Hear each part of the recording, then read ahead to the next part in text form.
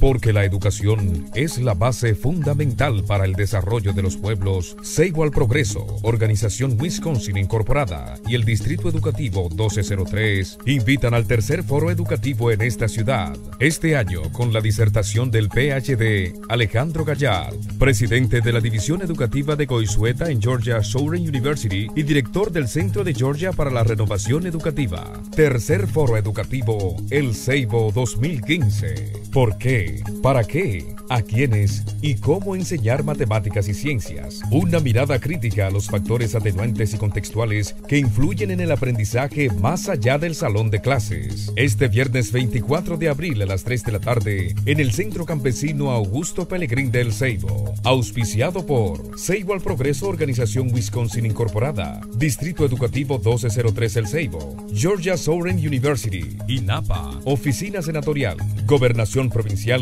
y este canal